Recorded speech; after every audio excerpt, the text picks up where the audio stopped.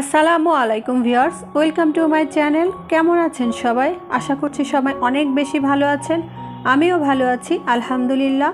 কাছেও দূরে যে যেখান থেকে আমার এই ভিডিওটি দেখা শুরু করেছেন, সবাইকে একটি অনুরোধ করব, প্লিজ আমার এই ভিডিওটি স্কিপ না করে মিনিমাম চার থেকে পাঁচ মিনিট দেখুন। আর যদি পারেন, তাহলে অবশ্যই ফুল ভিডিওটা দেখবেন।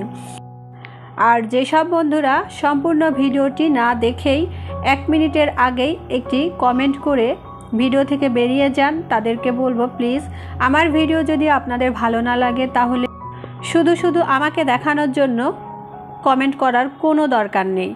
তাই বলছি যে প্লিজ আপনি আমার ভিডিও থেকে অন্তত দূরে থাকুন। যার ভিডিও আপনার ভালো লাগে, আপনি তার ভিডিও দেখেন। কিন্তু আমার ভিডিও যদি আপনার ভালো না লাগে, তাহলে এরকম একটা কমেন্ট করে আমার ভিডিও থেকে বের হয়ে যাবেন না। প্লিজ অনুরোধ করছি সবাইকে। আর আমার কথাগুলো যদি কারোর ভালো না লাগে, তাহলে আমি তার কাছ থেকে মাপ চেয়ে নিচ্ছি। কারণ এটা না বললে আমার চ্যানেলেরই ক্ষতি, তাই সবাইকে আমি বলে নিলাম যে যেটা মনে করতে পারেন, এটা তার বিষয়। যাই হোক, আজকে আমি আমার ব্লগটি শুরু করেছি দুপুরের পর থেকে। দুপুরের পরে নামাজ পড়ে নিয়েছি, তারপরে একটু রেস্ট নিয়ে রান্নাঘরে চলে এসেছি। আমি বাড়তি কাজগুলো আগেই করে নিচ্ছি, যেমন ছোলা সিদ্ধ শেষ হয়ে গিয়েছিল, ছোলাটা সিদ্ধ করে নিলাম। তারপরে রসুন বাটা ছিল না, তো রসুনটা ব্লেন্ডার করে নিচ্ছি। আজকে আমি রান্না করব বিফ বিরিয়ানি। এই জন্য ইফতারির বেশি একটা ঝামেলা করব না, হালকা পাতলা দিয়ে আজকে ইফতারিটা সেরে নেব। আর বিরিয়ানি রান্না করার জন্য সব কিছু যে আস্তে আস্তে আমি গুছিয়ে নিচ্ছি। এদিকে আমি মাংসটা ভালো করে ধুয়ে রেডি করে নিয়েছি। আমি আমার পরিমাণ মতো গরুর মাংস নিয়ে নিয়েছি। এই যে এই ছোট ছোট টুকরা করে মাংসগুলো কেটে নিয়েছি। এখানে দিয়ে দিচ্ছি একটু রসুন বাটা, একটু আদা বাটা দিয়ে দেব সব রকমের একটু গুঁড়া মশলা, যেমন ধনিয়া গুঁড়া, জিরা গুঁড়া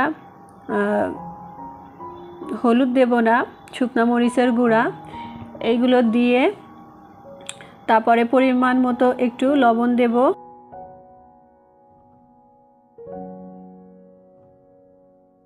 এই মুহূর্তে বাসায় টক দই ছিল না, তো টক দইয়ের পরিবর্তে আমি দুধ আর লেবু দিয়ে এই যে এই মিশ্রণটি তৈরি করে নিয়েছি, এটা টক দইয়েরই কাজ করবে।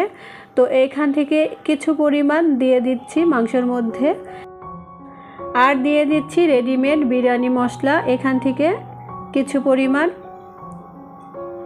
এবার সব কিছু একসঙ্গে ভালোভাবে মাখিয়ে কিছুক্ষণের জন্য রেখে দেব। বিরিয়ানি রান্না করার একবেলা আগে এই মাংসটা মাখিয়ে রাখলে ভালো হয়। তো আমার হাতে ওই সময় ছিল না, আমি হঠাৎ করেই বিরিয়ানিটা রান্না করছি, তাই আগে থেকে মাখিয়ে নিতে পারিনি। এখন কিছুক্ষণের জন্য রেখে দিচ্ছি ঢেকে।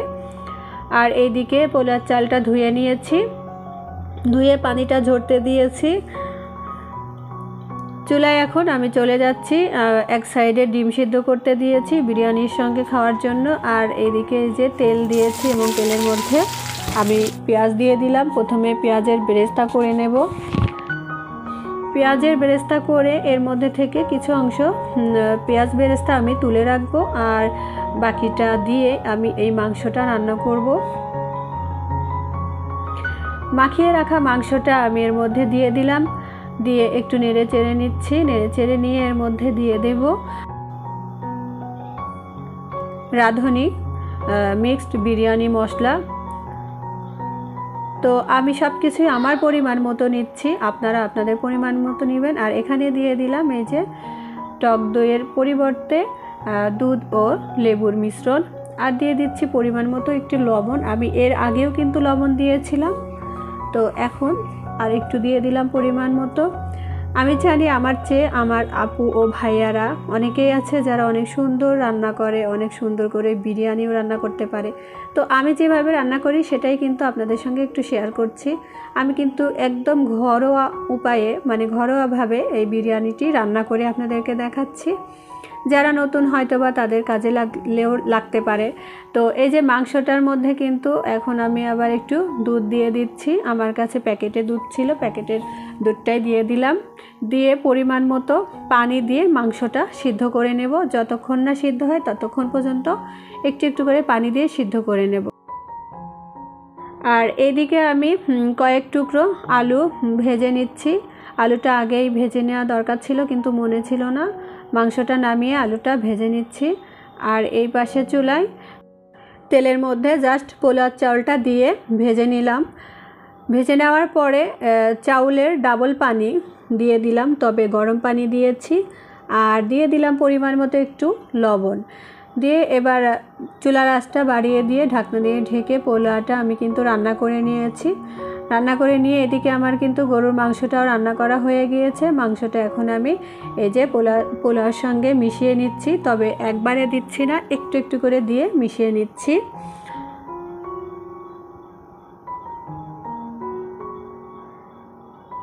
ভালোভাবে মিশিয়ে নিয়ে এর মধ্যে আমি এই যে বেরেস্তা, পেঁয়াজের বেরেস্তার মধ্যে কিন্তু আমি একটু চিনি দিয়ে রেখেছিলাম। এই বেরেস্তা ইচ্ছা করলে বেটেও দেওয়া যায়, কিন্তু আমার হাতে সময় ছিল না, তাই আমি বেটে দিলাম না। এই রকমই দিয়ে দিলাম, আর দিয়েছি কিছুটা কাঁচামরিচ, কয়েকটা কাঁচামরিচ।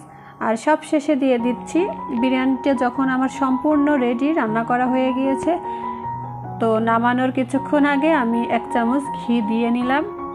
এবার নেড়ে চেড়ে কমপ্লিট করব আমার এই বিরিয়ানি রান্নাটা বিফ বিরিয়ানি। বন্ধুরা বাসায় কারেন্ট নেই, তাই অন্ধকার লাগতেছে। আইপিএসের আলোটা এখন খুব বেশি নাই হালকা হালকা আছে, তাই কি আর করব? এখন আমাদের খাওয়ার সময় হয়ে গিয়েছে, তাই এই সময় একটু ভিডিও করে নিলাম, জানি না আপনাদের কেমন লাগবে। তো আমি এই যে আমার বিফ বিরিয়ানিটি রেডি করে নিয়েছি, এখন আমি সার্ভ করে দিচ্ছি, আমরা সবাই মিলে খাব।